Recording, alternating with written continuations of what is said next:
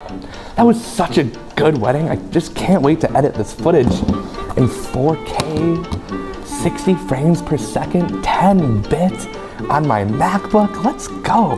Oh, that groom was just wonderful. The bride was beautiful.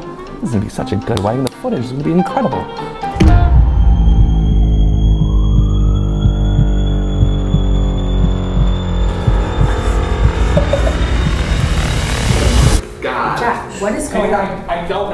Trying out edit this wedding for the last two hours. It's all laggy. Hold on.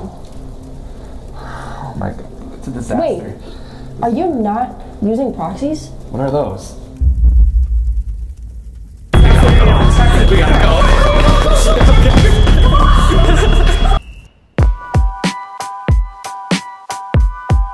So, you may be wondering, what is a proxy? To put it simply, a proxy is just a lower resolution video file that looks identical to the original, but requires significantly less computing power to edit.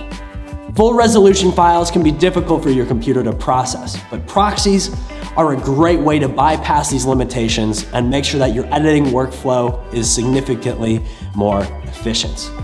In Premiere, proxy files are directly linked to the original media and can be toggled on and off. When the project is complete, the video will export with the full resolution media. This is one of the greatest editing hacks and is absolutely necessary to an efficient editing workflow. Start using proxies for every wedding and pretty soon you won't believe you were ever editing without them. Proxies are a useful tool when dealing with files that regularly slow down your computer and make editing a nightmare. Especially on a laptop, there's a much higher chance of your computer slowing down while editing these big 4K 10-bit files. The lag can be a real buzzkill to your creative energy and might even make you want to throw your computer out of a 10-story window.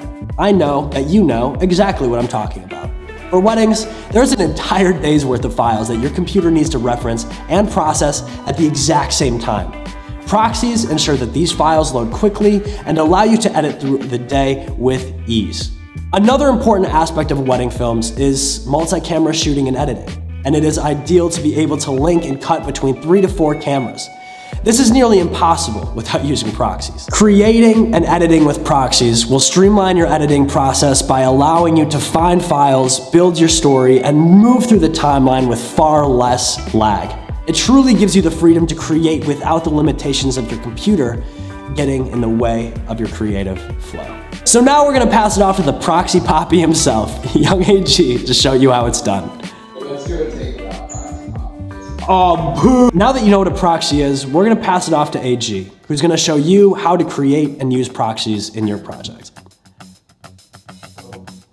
Professional, that's the buttoned up version, which we're not gonna use. Welcome friends and family. Today we're gonna be going over on how to create proxies. So first, we're gonna open up Media Encoder here. We'll hit this plus button here to create a new preset.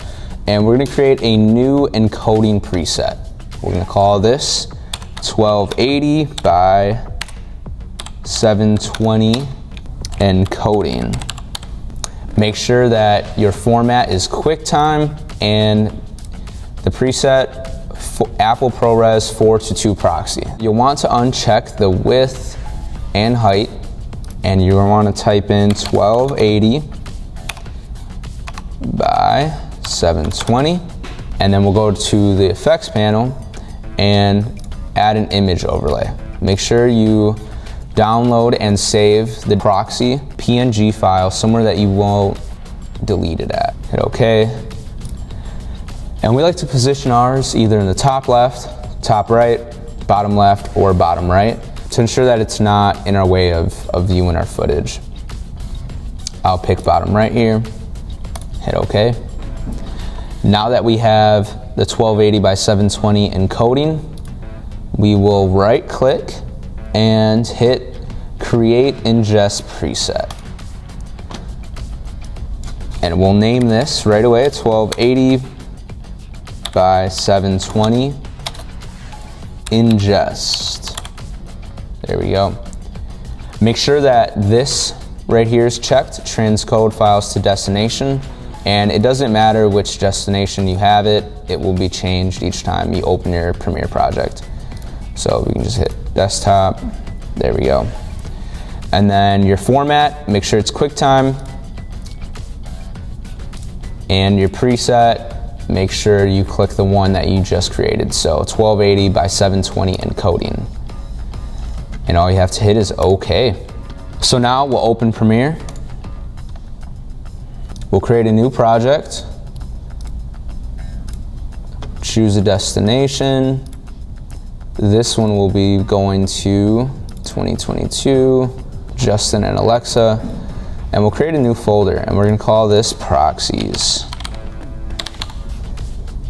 We'll select this folder, rename this J and A proxies. Now you'll want to import all of your footage from your wedding. So go ahead and drag all the files that you need proxies for, which I would recommend every video file from the wedding you shot. Wait for this to load up. So once your footage is all loaded into Premiere, you're going to highlight all these, right click, and hit create proxies. And the first step, yours will more than likely say H.264. You do not want that. So hit QuickTime. You're gonna add an ingest preset. And what I always like to do, put this to the side here, and we're gonna have to look for it. So go back to Media Encoder, and you're going to go to your ingest preset here, right click, and reveal preset file. So this is telling us exactly where this is located at. So AG, Documents, Adobe, and so on. So we're gonna have to go and find that through Premiere. So go to this PC, and you'll select this here, the ingest one. There we go. And now we're gonna select the location you want to store your proxies. So Justin and Alexa, open this proxy folder, hit select folder, and hit OK. Now it's going to create your proxy jobs and Media Encoder will automatically open. So now that our proxies are created, I'm going to show you guys how to toggle them on and off. So for most users, this will not appear in this tab here. So what you'll need to do, hit this plus button and drag this one right here onto the tab there. Boom, hit OK and then this will turn on and off your proxy. So right now, this is the full resolution file, and then if you toggle it on, there goes your proxy. Since you just created your proxies from Premiere into Media Encoder, your proxies will automatically be attached. Next time you go to open up this project, possibly on a different computer or on a different hard drive, what will happen, your proxies might not be attached. So I'm gonna show you guys how to detach proxies and also how to attach them, and more importantly, how to attach them. So you'll select your footage, you'll right click, hover over proxy, and detach proxies. So now, if I click on this clip here and toggle, it does not pop up. So I'll go ahead and select on my footage, I'll right click, hover over proxy, hit attach proxies. So this is just like me linking media. Um, make sure that the file name here is checked and then you'll hit attach. Go into whatever drive you have your footage stored at. And this is where you'll dive into your proxy folder. And I highly recommend making a proxy folder to store your proxies in. That way, when you go to attach proxies, it doesn't attach the original media. So we'll double click proxy, hit search, and it says right down here, found a file that matches the selected criteria, and hit OK.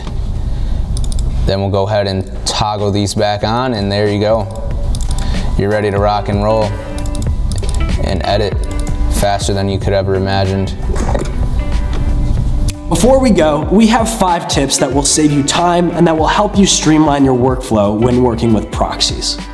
Tip number one, don't import proxies directly into your project. Instead, make sure that you link the proxies into the original files as AG explained in the demo. If you import proxies directly, they might end up rendering into the final export. Tip number two, Make sure that your proxies are turned on. It's easy to turn on and off proxies in your project, and this can be extremely helpful when color grading or before an export, but it can be frustrating if it happens by accident. So make sure you keep an eye on this little icon. It could be the only thing standing in the way of you and your happiness. Tip number three. We mentioned this in the previous tip, but do not color grade with proxies on. The beauty of proxies is that they contain very little data and allow you to organize your timeline efficiently. This also means that your clips will not carry their original 10-bit data that makes them so great to color grade. You don't want to color grade these low res files just to realize that your grade looks completely different when you relink the original clips. So make sure that once it comes time to color grade, you turn off the proxies. Render your proxies overnight. Rendering proxies can take hours, so doing this overnight ensures that your editing schedule isn't delayed by this essential step in the process.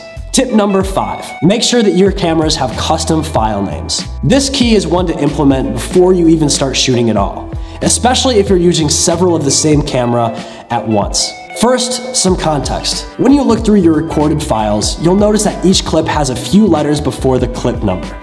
For example, Sony footage comes named something like C001, C002, etc. So let's say you're recording a ceremony using three Sony cameras and each is recording its own version of C001. This will confuse your program when it comes time to relinking the original files to your proxy media in Premiere.